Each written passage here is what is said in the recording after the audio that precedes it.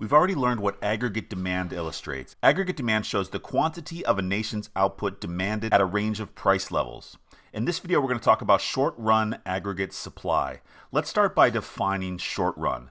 In microeconomics, you learned that the short run was defined as the fixed plant period. In macroeconomics, however, the definition is slightly different. In macro, we define the short run as the fixed wage period.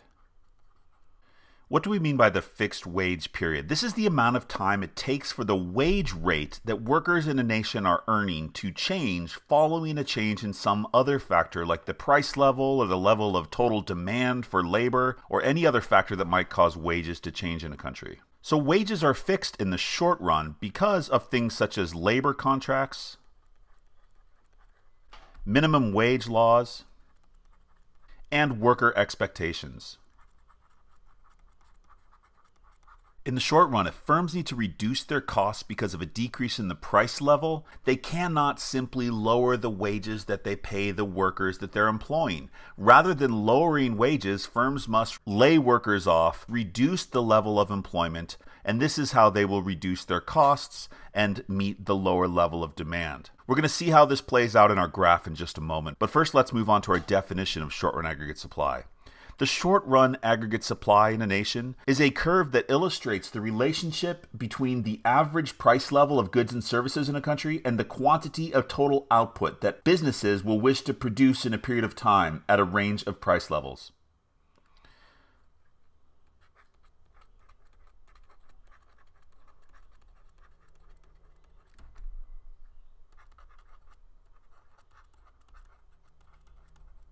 The important part here is that the short run aggregate supply shows the relationship between the price level in a country and the quantity of output supplied in the short run. In other words, in the fixed wage period. Now, this curve, we're going to draw it in just a second, is going to look very familiar if you've already studied microeconomics. In microeconomics, we learned that there was a direct relationship between an individual goods price and the quantity that producers of that good are willing and able to supply in a period of time. Well, unsurprisingly, in macroeconomics, there's also a direct relationship between the average price level in a country, that's PL on my graph, and the quantity of real output, that's real GDP, that firms are willing and able to supply. So our SRAS curve looks a lot like a supply curve in microeconomics. Here we have the direct relationship. As the price level rises in a country, we're going to see that the amount of output that firms are willing and able to supply, indicated by the Y, Y stands for national income, the quantity of output supplied will increase. There is a direct relationship between the average price level of goods and services and the quantity of goods and services produced by a nation's firms. It's basically the law of supply from microeconomics translated to the macro level. So as prices rise, the price level increases, the quantity of output produced increases. So let's talk about why there will be movements along the aggregate supply curve when price level changes. First, let's summarize our observations here. When price level increases, we're going to say when price level increases, this leads to an increase in national output. That's an increase in Y. When price level decreases, when there's deflation, as we call it in macroeconomics, there will be a decrease in the level of output produced in the short run. Why is this the case? The answer has to do with what we call sticky wages. Sticky is just another word for fixed wages. Because wages are sticky, in other words, they're not able to change quickly in responses to changes in the price level, firms have no other option when prices fall than to reduce the amount of output they produce and reduce the number of workers that they employ. Workers sign contracts that guarantee a fixed wage during the period that they're under contract. There are minimum wages, there are unemployment benefits that they could receive from the government if they were to lose their job. For these reasons, firms are not easily able to simply lower wages when the prices of their goods are falling. Therefore, firms must reduce the amount of workers that they employ. At the same time, when prices rise in a country, firms find that workers under contract will continue to get paid the same wage. Therefore, firms are incentivized to increase their output when the price level is rising. They'll continue to pay their workers the same amount, but they'll want to hire more workers and produce more output to take advantage of the higher prices for which they can sell their goods and services. It's just like in microeconomics. When price rises, firms have an incentive to produce more goods because they can earn more profits. When prices fall, firms have an incentive to produce fewer goods and reduce the number of workers that they employ because they can earn less profit at lower price levels. This explains the direct relationship. This is the direct relationship we observe in our short run aggregate supply curve. In future videos, we'll talk about long run aggregate supply and alternative views of aggregate supply, which account for what we call the variable wage period, when wages do adjust to the price level in the economy. However, the short run aggregate supply curve is really easy to understand. It reflects the law of supply from microeconomics. The explanation for why it is upward sloping has to do with the fact that workers' wages do not quickly adjust to the price level in the economy. Therefore, workers will be hired when prices rise in a country and output will increase. When prices fall in a country, workers will be fired and output will decrease. So let's now talk quickly about factors that cause shifts in the short run aggregate supply curve.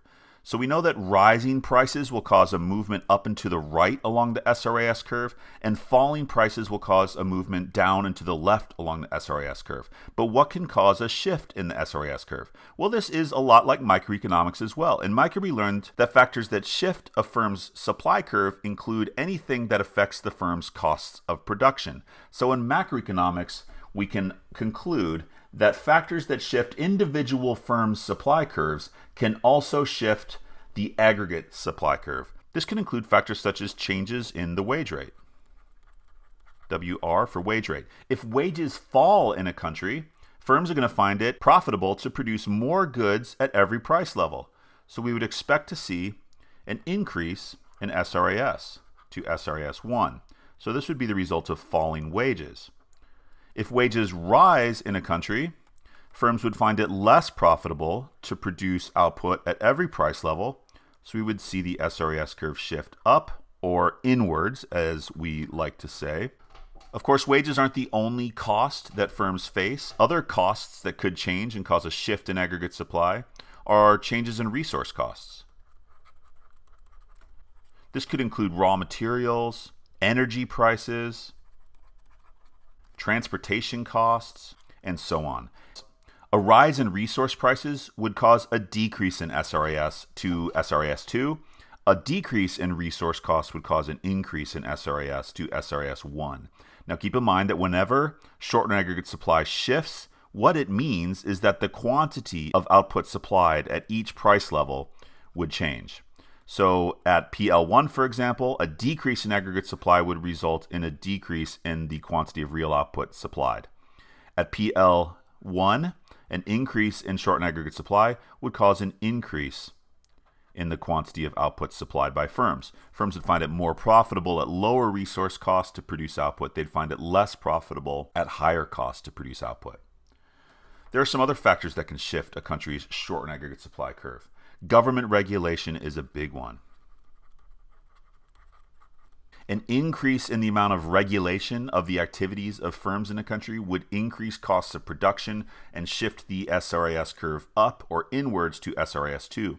Reduced government regulation would cause an increase in the quantity of output supplied at every price level, since firms face less red tape, since they face less bureaucracy, and are able to produce whatever they want, however they want, in the least cost method. So, reduced regulation could potentially increase aggregate supply and increase the amount of output produced at every price level.